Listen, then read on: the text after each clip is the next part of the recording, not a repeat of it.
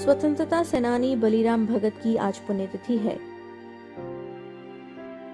7 अक्टूबर 1922 को पटना में जन्म हुआ।